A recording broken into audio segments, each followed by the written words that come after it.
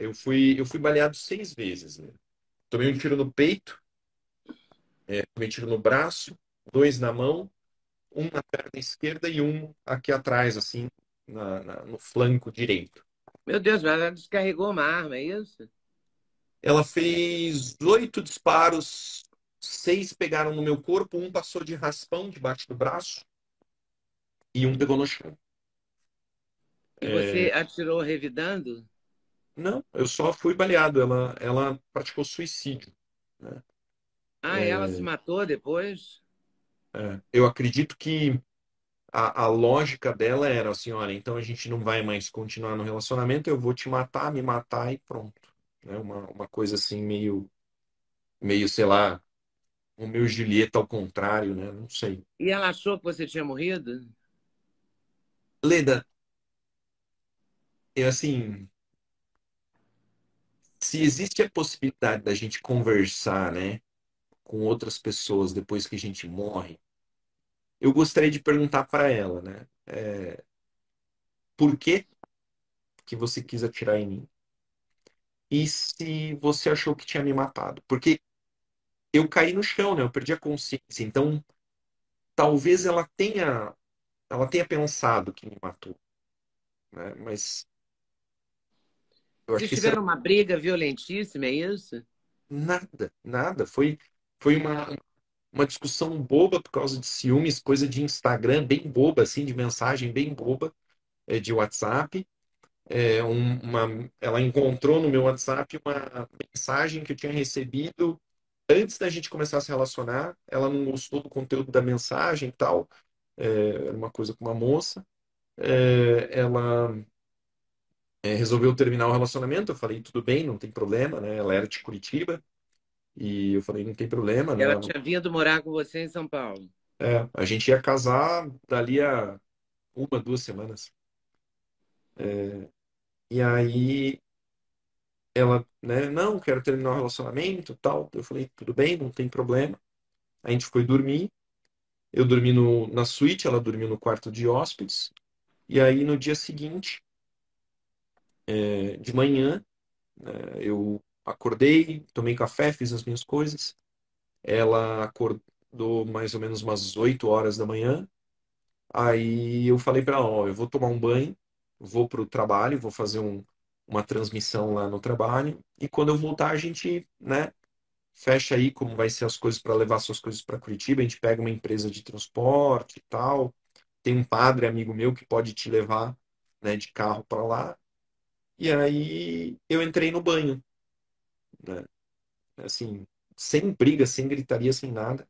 E aí, quando eu saí do banho, pelado, assim, eu abri a porta do banheiro, ela estava de frente para mim com a arma apontada e fez os disparos. Né? Eu perdi a consciência na hora e quando eu acordei, né, tive que me socorrer, tive que buscar ajuda. Eu saí, me arrastei para fora do apartamento, é, consegui entrar no elevador, né, já tinha ligado para a polícia. Quando eu cheguei lá embaixo no, no prédio, a polícia já estava entrando. Eles me levaram para um, um hospital que fica ali do lado da minha casa. É, foram feitos os primeiros socorros, né? Porque quando você toma tiro no peito, como entra ar, né? Fura o pulmão e entra ar dentro da cavidade torácica, o pulmão ele não enche mais, né? Ele fica que nem uma bexiga desinflada. E eu não conseguia respirar, né? Você estava respirando com o pulmão só. E esse lado aqui, né? então faz uma coisa chamada pneumotórax. Então eles drenaram o sangue de dentro do meu peito, costuraram alguma coisa, me deram soro, sangue e tal, e eu fui transferido para o Hospital Mário Covas, em Santo André. Lá eu isso foi em São Bernardo? Isso, foi em São Bernardo. Aí eu fiquei internado 11 Você foi dias. se arrastando até o elevador? Só com esse no... braço. Só com esse braço. Caramba, que coisa maluca. Uma fratura no, no acetábulo, que é o osso da, da bacia que encaixa o fêmur. Né? Então esse osso explodiu com um disparo. Então eu não conseguia ficar em pé, não conseguia andar. Né? Essa mão estava né, esse dedo aqui tava pendurado, assim, sangrando pra caramba, o braço tava sangrando. Então eu rastejei usando esse braço aqui no chão. E não apareceu nenhum vizinho, nada? Eu bati na porta, mas ele não abriu, Leda, ele não teve coragem. É, aí eu saí sozinho. Fiquei 11 dias na UTI, passei por três cirurgias, né? Toracotomia, laparotomia e a cirurgia na mão.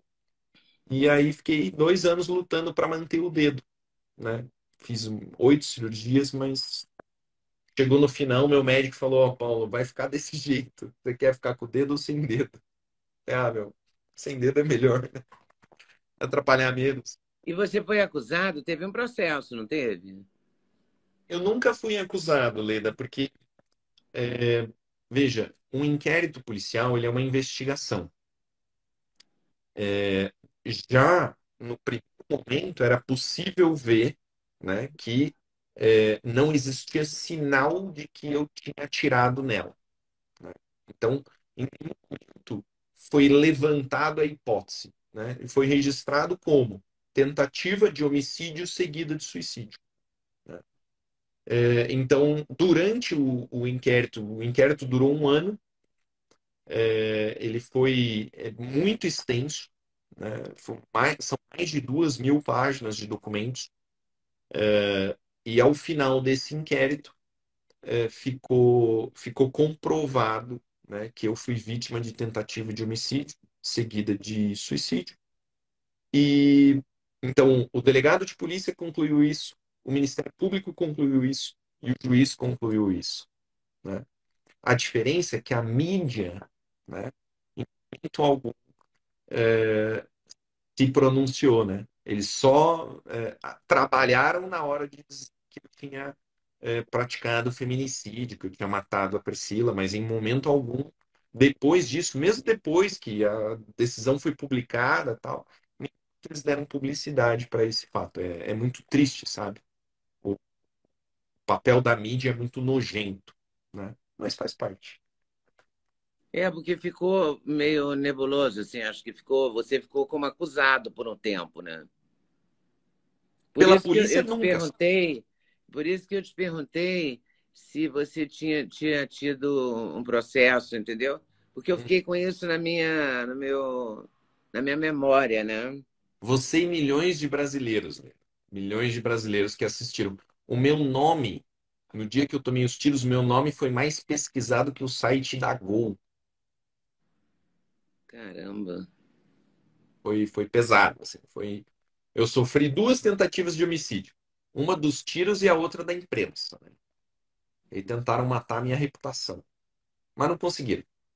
E como é que você sobreviveu a isso tudo? Porque você estava ferido no hospital, teve todo um. Né? Você não tomou nem conhecimento disso, né? Eu não, graças a Deus. Eu, é, assim, você, você já ficou internada no SUS?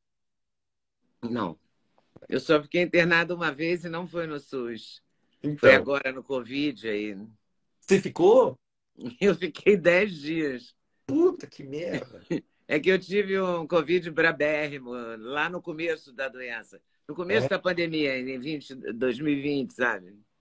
Caramba. Eu, eu nunca tinha entrado no hospital, Leda.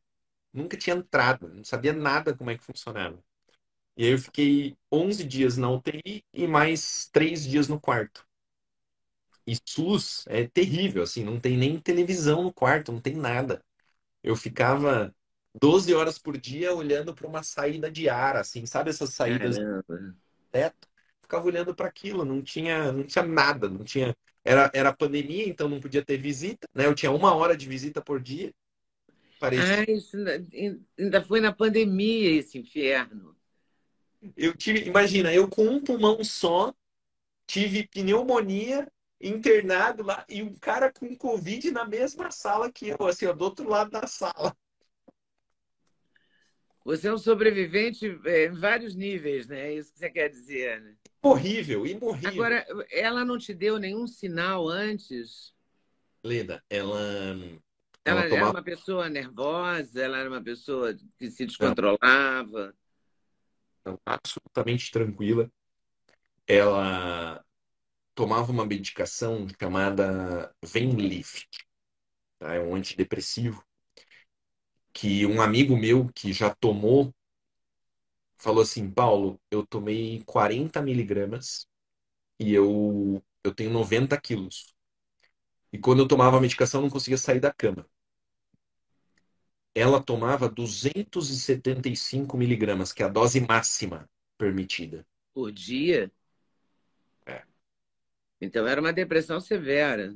É, depois a gente teve acesso né, à, à ficha psiquiátrica dela e ela tinha relato de tentativa de suicídio desde os 14 anos.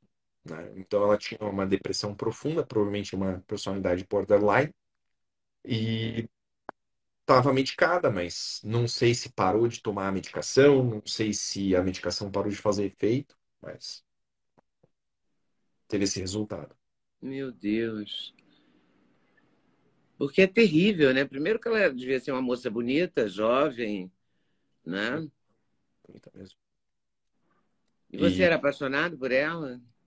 Nossa, eu, eu, eu, eu falo assim, tem um, episódio que ilustra bem, né? É...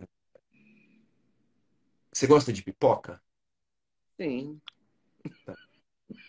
A gente estava assistindo um filme e ela virou para mim assim: Ah, você quer que eu faça pipoca? Eu falei: Quero. Doce ou salgada? Eu falei: Ah, tanto faz. Ela fez as duas. Entende? Esse era o, o, nível de dedicação, assim, o nível de cuidado. Eu, é, eu, a minha mãe faleceu quando eu era muito pequeno. Né? Faleceu quando eu tinha 4 para 5 anos. Nossa. E, então, assim, essa questão do cuidado sempre foi uma coisa muito importante para mim, sabe? Uma coisa que eu sempre desejei demais. E, e eu sentia isso, que ela era muito cuidadosa, ela cuidava muito de mim, tinha um carinho muito grande, eu, eu era, né, absolutamente apaixonado. Que tristeza essa história, né? Porque é uma tristeza, né? Você ser apaixonado, a pessoa que você é apaixonado. É, fora, fora toda a tristeza da, do ferimento, do dedo, da bala, do hospital, do buraco no teto, do, do Covid, de tudo, tem a, a questão da dor uh, emocional, né? Tomar um tiro de uma pessoa que você ama, ou tomar vários, ainda oito, é bastante complicado, né? Eu. Uma coisa que. Deve que ser. Né? É que eu, eu cheguei bem próximo da morte. Bem próximo mesmo. Quando a pessoa toma tiro, assim, ela entra num estado chamado choque hipovolêmico.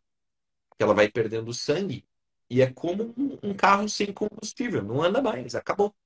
Né? E então eu, eu, eu tava entrando nesse estágio, eu perdi a consciência, foi a primeira vez na vida que eu desmaiei. Né? Então a, a, luz vai fechando.